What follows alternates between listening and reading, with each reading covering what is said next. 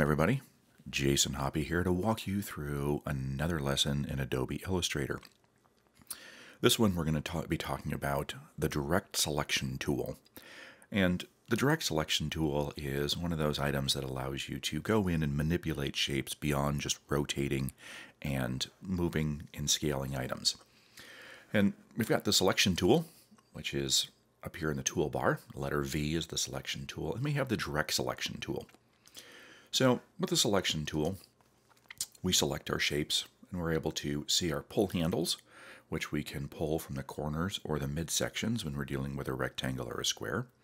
When you select a circle, you can again pull from the midpoints of the corners and also hover over the outside to rotate the shapes however you'd like. And again, any other shape, you're going to get your pull handles. But the direct selection tool allows you to go in and manipulate those points individually. So instead of going in and just scaling the entire thing larger, the direct selection tool allows me to pull just this one corner. Now, here's where the trick comes in. When you are using the direct selection tool, if you happen to have your object selected and then you switch over to your direct selection tool, which is the letter A, I get a lot of input from people that says, you know, it never works for me because I had my shape selected, I switched over to the direct selection tool, and then I try to pull those handles and the whole shape moves. I thought the direct selection tool was supposed to work where I just click on a point and I can move that point independent from everything else. And that is absolutely correct. The problem is is that when you start off with the selection tool and you select a shape and you go over to the direct selection tool, your shape is already active. When you click on the direct selection tool, every single point is active. What am I talking about here? Well, I'm going to click off this shape with the direct selection tool and show you. When I have a shape that is not selected, and I select the direct selection tool, and I click on the shape, you will see all the points that make up that shape are now selected. And I want to be very clear about what I'm talking about being selected and being active. This shape is selected, which means the whole point is select or the whole shape is selected. These points are selected, but they are not active. Active means when you click on a specific point, it is solid blue. That means that it's active and it will work independently of everything else. So if you select that shape with your selection tool and then come back with your direct selection tool, let me try that again, select it with the selection tool, come back with the direct selection tool, you will see that all those points are active, meaning that they're all going to move because they're all solid blue. If you click on the one point that you'd like to move with your direct selection tool, you'll notice that all the other ones will become deactive, and the one that you want to move is now active. So you can move this all around. Now, these points can be tricky to select because they're very small to begin with. So we can fix that. Under the Illustrator menu on the Mac, under Preferences or Edit menu on the PC, we're going to go under Preferences and select our Selection and Anchor Display. In here, you can control the size of your points and handles from the default, which can be very small, to very large.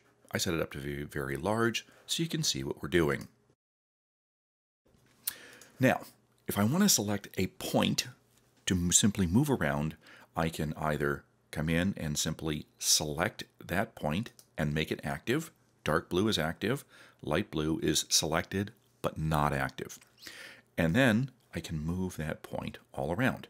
If I would like to select two points at once, I can simply click in an area outside my artwork and select multiples at once.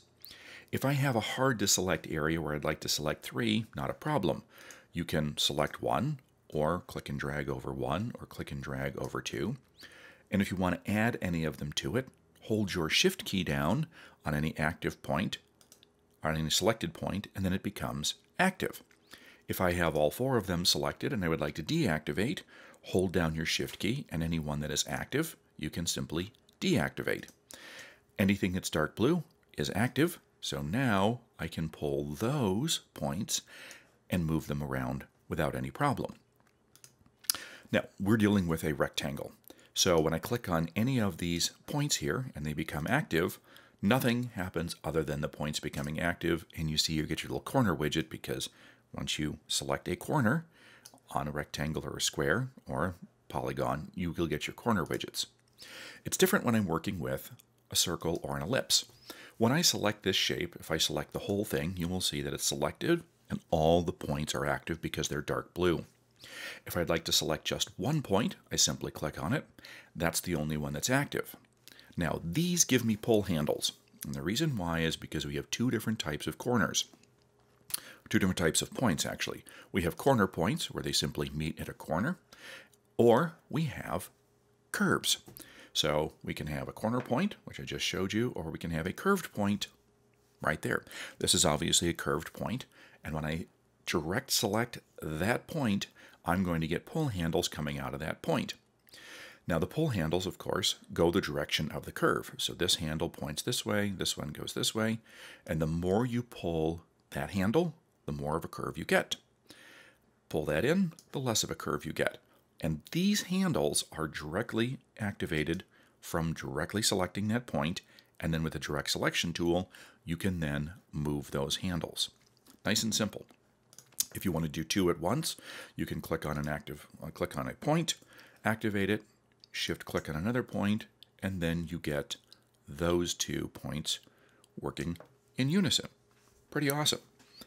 So, when it comes to a polygon or a star, when I click on the entire shape here, you see all the points are selected here, but none of them are active because none of them are dark blue. If I'd like to go in and I would like to just grab the inside ones, I can do that with this star by carefully starting outside and just running my selection over those points to make those all active.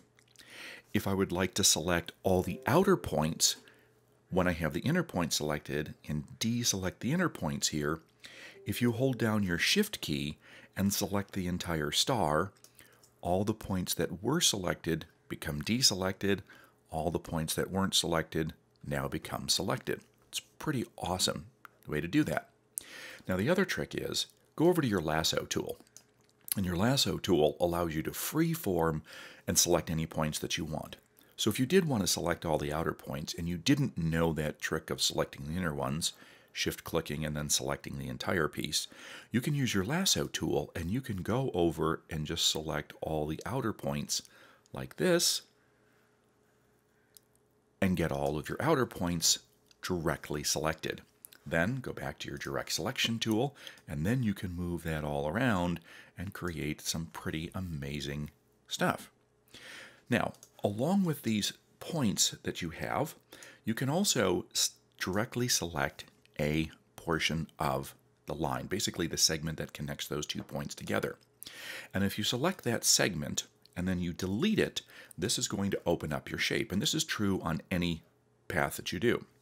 Now, if you select a point and you delete that point, you are going to be deleting both lines that come out of that point. Okay, so let me back up here. So if I select the line segment and delete it, just the segment goes away. But if I select that point and delete it, I'm going to lose this line segment and this line segment because they're both attached, making that point.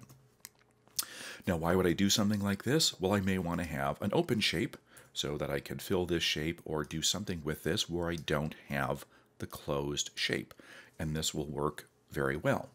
If I'd like to open up any of these other shapes, select the line segment and just and delete and just that line segment will go away. But if I select the point, both segments that make up that point will go away.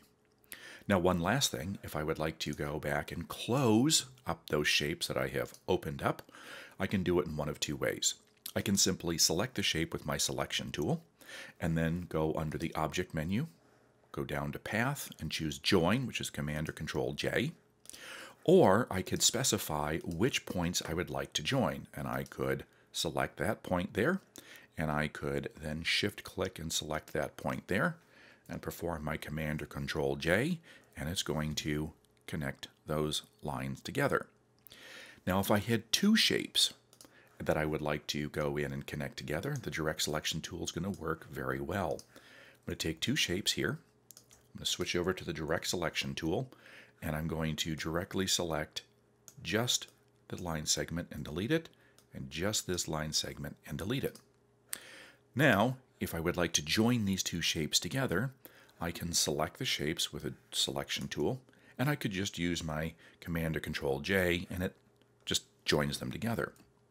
I'm going to undo this because what happens if I'd like to go in and I would like to connect this point to this point down here? Well, that's where the direct selection tool comes in.